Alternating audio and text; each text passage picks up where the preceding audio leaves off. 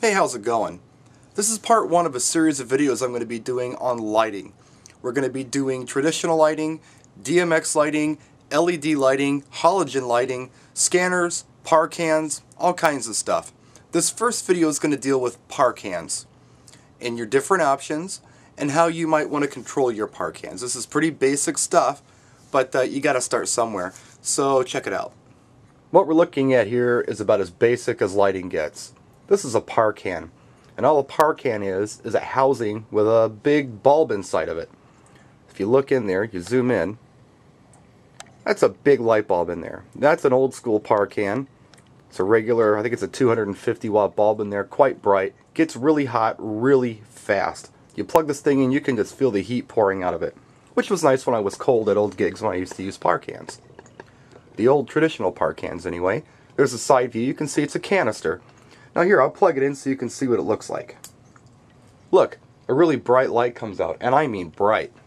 Now if I put my hand up here, I can feel the heat right away. It's instantaneous. And as you can see, that's a white light. That's pretty boring. Well, what if you wanted, let's say, uh, a green light? Well, this is what you'd have to do. You'd have to get a gel. Let me show you a gel. Here's a gel. It's basically just a colored piece of plastic. As you can see, I've got this gel cut to about the size of this square right here. What you can do is you can pull the square off.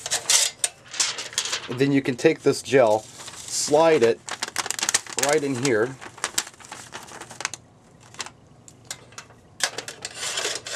And pop it right back onto the par can.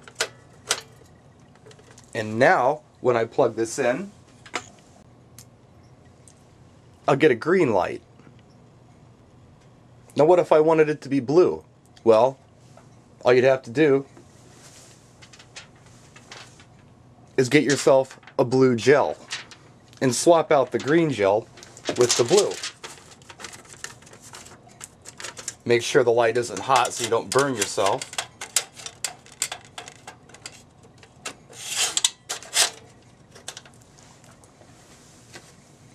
Plug it in and boom, you've got blue.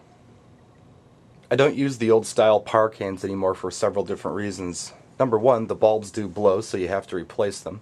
Number two, they get really hot. Number three, they use a lot of power. Number four, you have to have several different par cans with several different gel colors on your light trees to create different color combinations on the dance floor.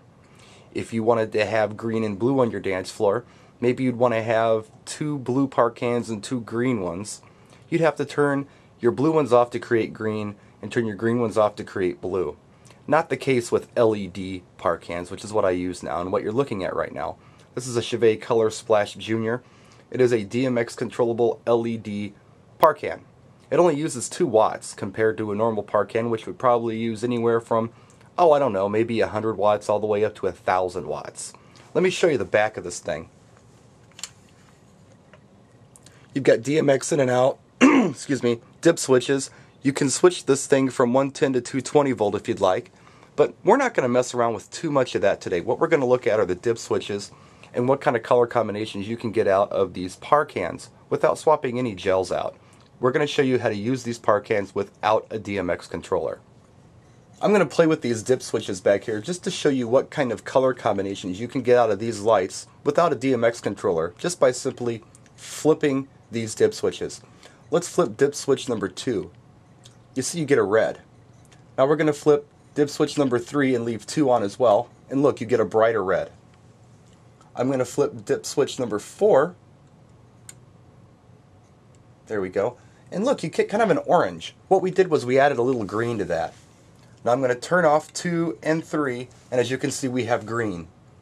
Flip dip switch number 4 with 5 already on, and you get a brighter green. Flip dip switch number 6, and you get an even brighter green than that.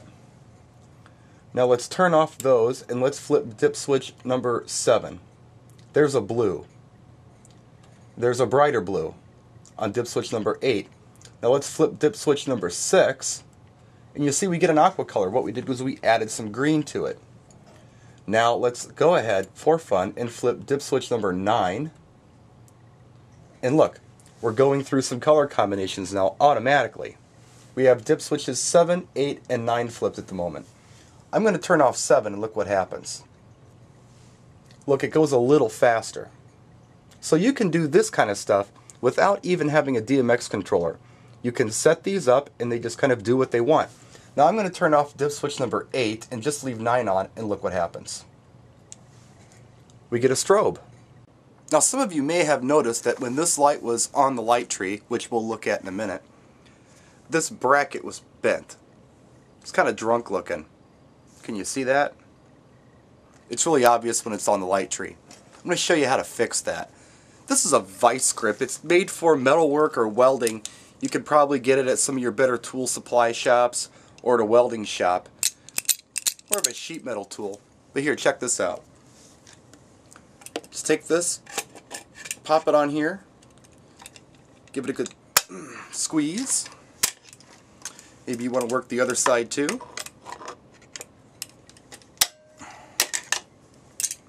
That's a lot better.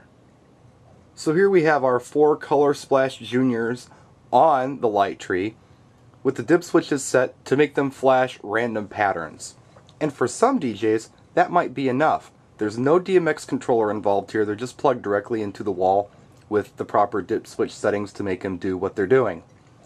There's another thing you can do if you don't want to go DMX but you want a little control over your lights. Let me show you. Now they're doing something a little more interesting. What I'm doing is I'm controlling these lights with a light controller, just chasing them. Now with this particular controller, I can make them go really fast, almost strobe, or I can make them go really slow. Now what I did was, I picked four colors. From right to left, we have a red light, a blue light, a green light, and a purple light. This is the Elation Light Copilot 2 system. Basically, it's a light controller. You can control up to 8 lights at a time, but it's also what we used to call a light computer which is basically something that will chase par cans or really any kind of lights you plug into it. It's an all-in-one piece. You used to have to get the light controller and then the little light computer module separate. Not anymore, it's all one piece. Now what you see in the background there is the power pack for the Copilot 2, but if you added an additional power pack like you see back there, it becomes a Light Copilot 3 and you can control 16 lights individually at a time. I'll show you how this controller works. Basically, you push the button and the corresponding light comes on. Pretty simple, really. It also has what you call flash. Push the button, hold it down and the light's on, release the button and the light goes off. Now, like I mentioned before, you can chase with this controller. We'll flick two switches and we'll chase two lights right now. And you can speed that up or you can slow that down. You can chase three lights if you want to. Or you can chase four and simply because uh, we only have four lights plugged in, you can chase up to eight lights with this if you'd like to. And if you had the Copilot 3 option, you can chase up to 16 at a time. So there's our first video, Par cans. Pretty basic stuff, but if you have any questions, please feel free to ask. Stay tuned for video number two. Practice and enjoy.